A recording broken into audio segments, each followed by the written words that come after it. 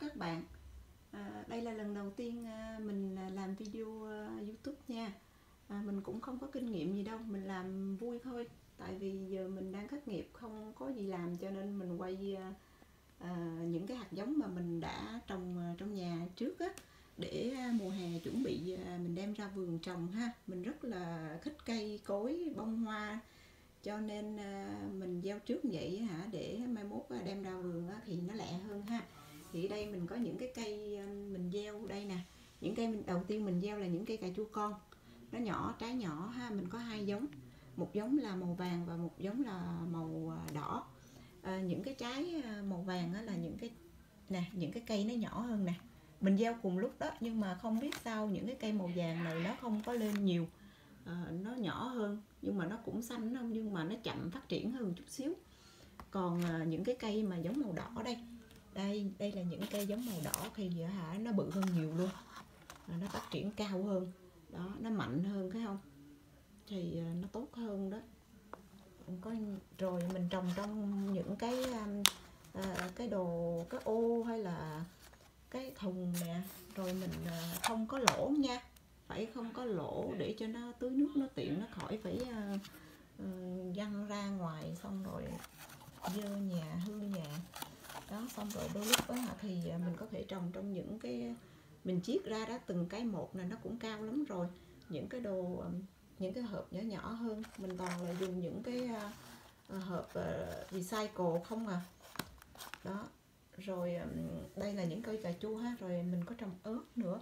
Đây đây là những cái ớt mà mình à, cũng gieo luôn. Ớt này là ớt á, hả dài dài mà lúc mình đi ăn phở người ta cho đó. Thì những cái cái ớt này á, hả là gieo lúc nó còn tươi luôn ha. Cà chua cũng vậy, nó còn tươi xong mình cắt xuống cái mình cho hột vào đất xong là nó lên thôi. Thậm chí à, cái ớt này nè, đặc biệt cái ớt này nè à, đông đá đó, mình lấy xuống mình gieo hột nó cũng ok luôn đúng không? Rồi à, ở đây là mình có gieo mồng tơi nữa. Đây, cây này là mồng tơi đây, cây này là mồng tơi, nó đã lớn rồi ha. Lúc mình gieo thì mình gieo như thế này nè. Đây là mồng tơi đang gieo, nó đang bắt đầu lú lên rồi nè.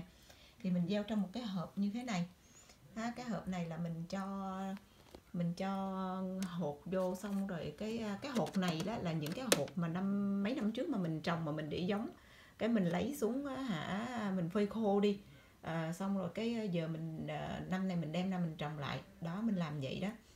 Thì đây nè thấy chưa? Nó đang còn dính cái hộp đây nữa nè.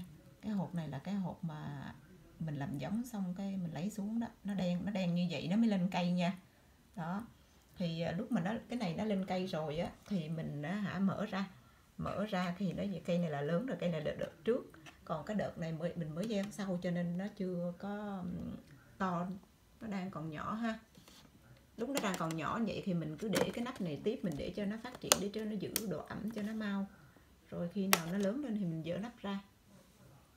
Đó rồi à, mình có gieo à, à, hạt đậu. Cái này là hạt đậu hoa lan nè. Đó các bạn thấy chưa?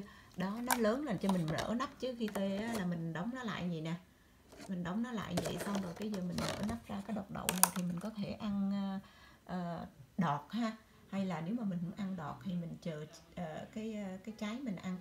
Nhưng mà nếu mà mình ngắt đọt mình ăn rồi thì uh, mình sẽ không có đậu ăn nữa đâu nha. Mình chọn một trong hai thôi mình muốn thích ăn cái gì mình ăn.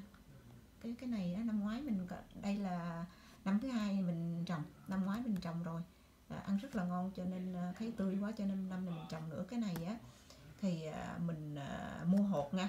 À, mình đi mua hột ở trong ở đây Mỹ hay là Canada đó thì mình mua hột ở um, trong Renault Depot Rona hay là những cái nhà vườn á, hả cái bao bằng giấy đó hình như là hiệu Mackenzie á. Khoảng 2 đồng. Mình nó mau lên dữ lắm. Cái này mình trồng cái này là 21 tháng 4 mà giờ nó đã phát triển tới chừng này rồi nè. Rồi mình ờ, cũng có trồng dưa leo hàng năm nữa nhưng mà mình không có gieo dưa leo bao giờ hết á. Mình chỉ có là đi ờ, đi mua cây giống nhà vườn về trồng thôi. Nhưng mà năm nay tình hình căng giống như vậy mình cũng không biết là mình uh, có tiện đi mua hay không nữa. Cho nên mẹ mình nè mẹ mình thì có giống dưa leo. Uh, mẹ mình uh, cho mình cái dưa leo này. Hai cái này là dưa leo đây à, dưa leo này là mẹ mình nói là dưa leo nhật bổn đó cho nên mình cũng thử đem về trồng luôn. Còn hàng năm thì mình có trồng cái dưa leo nhật bổn này nên mình trồng cái dưa leo mà cái loại à, nhỏ nhỏ mà có gai đó mà nó tên là con con và à, cơ bì. Đó như là cây này đây là cây này. Cây này thì à, em mình gieo em mình có giống hạt giống mua. Cho nên em mình gieo rồi cho mình nhưng mà cái này thì thấy giống như là sao nó hơi yếu không biết nữa. Nó vừa dài mà vừa nằm giống như thế này. Không biết là nó còn chịu nổi cho tới à, chờ lúc hè ra ngoài hay không nữa. Đó còn à, đây. Đây cũng là một cái giống ớt à, em mình đưa luôn. À, nhưng mà khác với giống ớt khi nãy mình gieo nha. Cái cây ớt này hả lá nó khác. Nó mập mập mà nó ngắn ngắn. Nhưng cũng ớt Việt Nam đó. Nghe nói là cũng ngon lắm các bạn nhìn này cho các bạn nhìn thấy hai loại à, khác nhau. À, cái loại này là loại mình à, gieo ha cái loại ớt này là dài dài ốm ốm. Lúc mà đi ăn phở đó người người ta ưa bỏ vô rau này kia này nọ cho mình ăn phở đó. Đó là cái cái loại này còn cái loại này là loại khác nữa. Đó, hai lá khác nhau phải không? Đó đó vậy các bạn sẽ thấy rõ hơn hai lá khác nhau. Cái này nó dài dài hơn cái này nó ngắn hơn.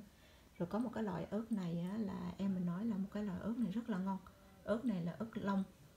Đó, ớt này là ớt giống của ba mình nha. À, em mình nói rất là ngon à, ăn thử.